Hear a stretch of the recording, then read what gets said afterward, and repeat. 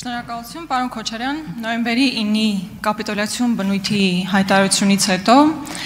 որի առաջին կետում ամրագրվում էր հրադադարի մասին փաստը, այնուամենայնիվ Ադրբեջանը շարունակում է իր ռազմատենչ եւ ծավալապաշտական քաղաքականությունը, որի փաստն այն է, որ այսօր Հայաստանի Հանրապետության սուվերեն տարածքում, մասնավորապես Սյունիքում եւ Գեղարքունիքում տեղակայված են ադրբեջանական զինվորներ, զորք։ Եվ նման ագրեսիայից հետո, որը տեղի ունեցել հուլիսի 28-ին, Պաշտպանության նախարարությունը հետևյալ հաղորդագրությունն է տարածել։ Մեջբերում եմ։ Հակառակորդը Ռուսաստանի Դաշնության մայրաքաղաք Մոսկվայում նախատեսվող բանակցություններից առաջ նախահարցակ մարտական գործողություններ է սկսել Հայաստանի Հանրապետության սահմանների վրա Սոտքից մինչև Վերին շորժը հատվածում։ Պարոն Քոչարյան, խնդրում եմ շատ հստակ մեզ ասել եւ փաստորեն մեզ եւ ժողովրդին ինչ բանակցությունների մասին է խոսքը հաշվի առնելով այն հանգամանքը որ պաշտպանության նախարարությունն է նման նման հաղորդագրություն տարածում կարող ենք ասել որ ՊՆ մակարդակներով հանդիպում է նախատեսված եղել թե ավելի բարձր մակարդակով բանակցությունների մասին է գնում խոսքը եւ որ ամենակարևորն է ինչ է դրված բանակցությունների սեղանին Տիկին Գրիգորյան ես կարող եմ ասել այն տեղեկատվությունը, որ ես տիրապետում եմ։ Բանակցություններ ասած մի քիչ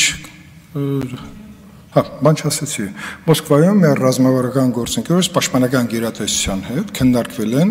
այդ սահմանային իրավիճակներում հնարավոր զարգացումները կանխելը։ Հիմա այս պահի դուրսությամբ ուր են հասել եւ մեր զինված ուժերի եւ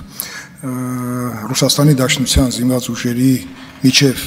ինչ պայմանավորություններ են հաստատվել, ես կդժվարանամ ասել, բայց կարծում եմ դա ի վնաս Հայաստանի Հանրապետության երբեք չի կարող լինել։ Ամեն ինչ կախված է այդ զարգացումների մեջ, մենք մեր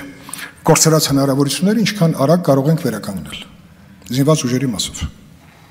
Արձագանք Անկեղծ ասած 3 հստակ հարց հնչեցրեցի։ Ինչ բանակցություններ են, ովքեր են բանակցող կողմերը եւ ինչի շուրջ են բանակցում, որոնցից ոչ մեկին էլ չպատասխանեցիք։ Ավելին ես նույնիսկ չհասկացա, դուք արդեն մեջբերում եք, որ բանակցություններ արդեն տեղի են ունեցել, թե դեռ պետք է տեղ ունենան, նույնիսկ դա ձեր խոսքից ակնհայտ չէր երևում։ Եվ գիտեք, երբ որ ասում եք, որ հայանպաստ են լինելու կամ մեր շահերին դեմ չեն լինելու, ես կուզենայի ձեզ հիշեցնել այն հուշագիրը, որով Սյունիքի ռազմավարական նշանակության ճանապարհները հանձնվել են Թշնամուն։ Եվ մինչև այսօր ես չեմ հիշում գետ 1 փաստաթուղթ նոյեմբերի 9-ից սկսած, որը լինի հայանպաստ։ Իհարկե դուք սիրում եք մեջբերել, որ նույնիսկ դելիմիտացիա եւ դեմարկացիայի մասին փաստաթուղթը հայանպաստ է լինում, բայց մենք ակնհայտ հասկանում ենք, որ դա լուրջ հետևանքներ կարող է ունենալ, եւ երբ ես այս հարցը հնչեցնում եմ, մեր բազմաթիվ քաղաքացիներին հետաքրքիր է։ Ի վերջո ինչ բանակցություններ են լինելու, որովհետեւ ամեն անգամ մենք բանակցությունների մասին եւ դրա արդյունքների մասին իմանում ենք post factum։ Այս անգամ գոնե խնդրում եմ շատ հստակ ձևակերպեք, թե որպեսզի մեր ժողովուրդը հասկանա